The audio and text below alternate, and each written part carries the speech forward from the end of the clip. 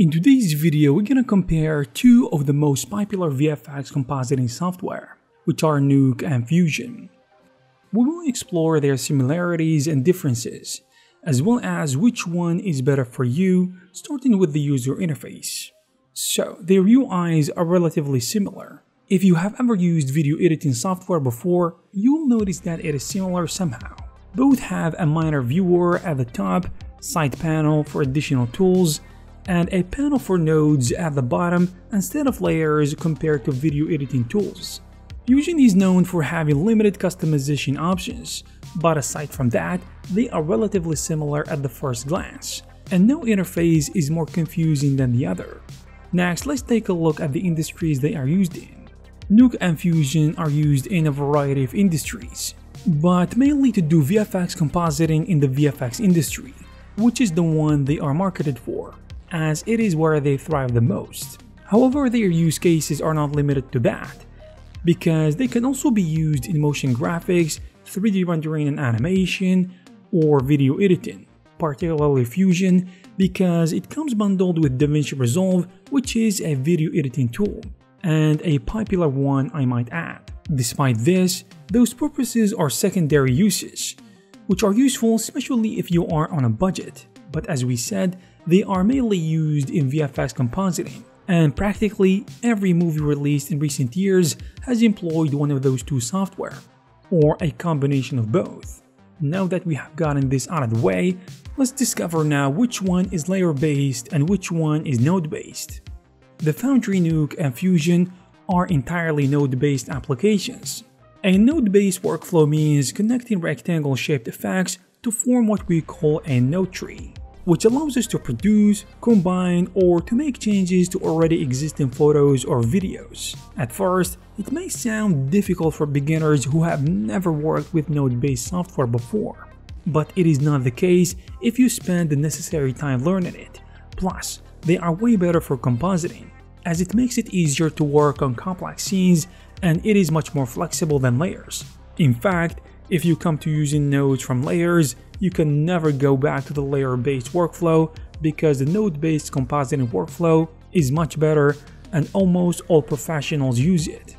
When it comes to compositing, Nuke and Fusion are both industry standard software with all the essential VFX tools, such as camera trackers, all types of blur, special effects like glow, lens flare, and the rest of the required tools. But the main difference is that Fusion, in my opinion, has better 3D tools and particle systems, making it better for motion graphics or for adding original effects in post-production. However, while it can produce industry-standard visual effects, its toolset may appear to be limited as you gain experience, because Nuke offers significantly more depth with much more advanced tools that can help you make far more advanced compositing. Furthermore, it provides some tools that can make A3 processes more difficult to replicate in Fusion, such as deep compositing and smart vectors. And on top of that, organizing the nodes is considerably easier. As a result of this, Nuke is used more in the industry. So if you want to make it to Hollywood or a big studio, I believe it is a better choice to pick. Nonetheless, Fusion is also used in movies and it is also a capable software. So in general, I think Nuke is superior, especially if you want to composite live action footage, even though Fusion is still good at it. And with the 3D toolset it offers, it is arguably better if you want to composite a project that is entirely or most of it is CGI.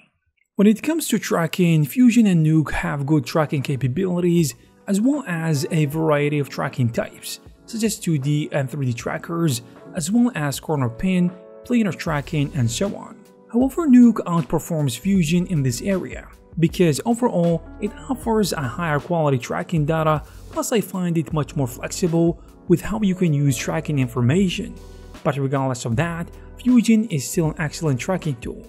Both Fusion and Nuke are not designed for color correction, but you can still do it to a certain extent.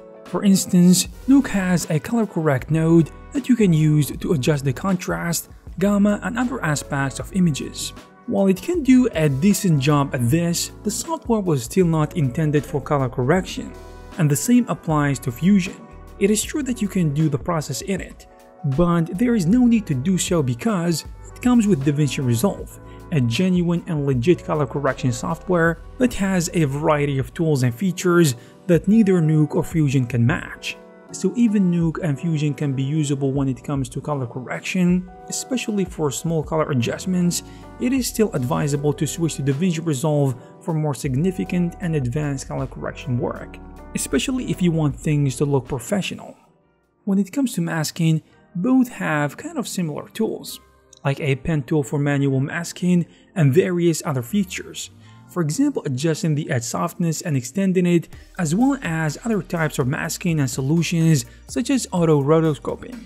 I actually prefer the edge extending in Nuke more, and I like how Fusion offers a lot of nice masking nodes, but overall, it is an area where both software perform really well.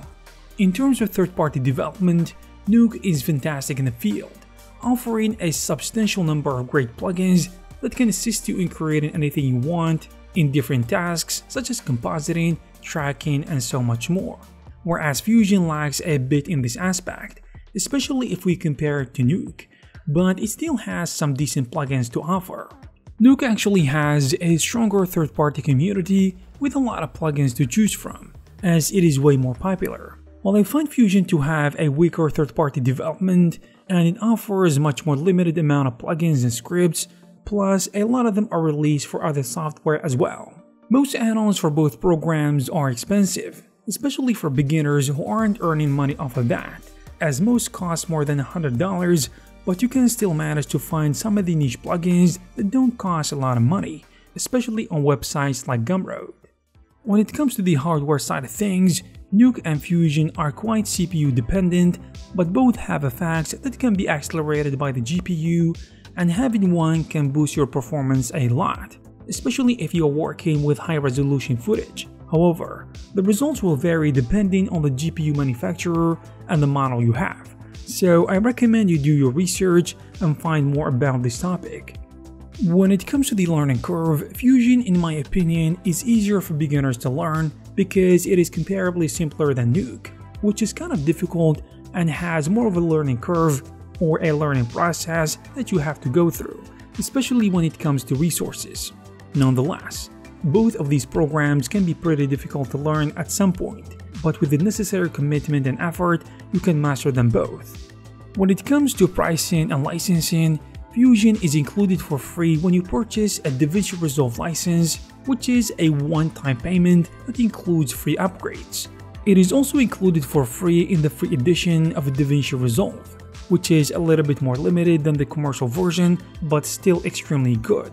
Whereas Nuke, we have Nuke Basic, Nuke X, Nuke Studio, and Nuke Render. They all have different prices and can be rented as well. So I recommend you go to their page and see what they offer and the prices they have because they may change over time. I personally believe that Fusion and Nuke are both great software, especially when it comes to compositing and post-production work. For me personally, I prefer Nuke because I tend to look at things in the long term, and if you want to work in the industry, Nuke is your best option. But if you want to do compositing and post-production work just for yourself or personal projects, Nuke can be a great choice, but Fusion can be a better choice, especially for beginners. So, I hope you guys found this video useful and informative. If you did, please give it a thumbs up. You can also take a look at some of our previous videos. Thank you very much for watching, and I will see you in the next one.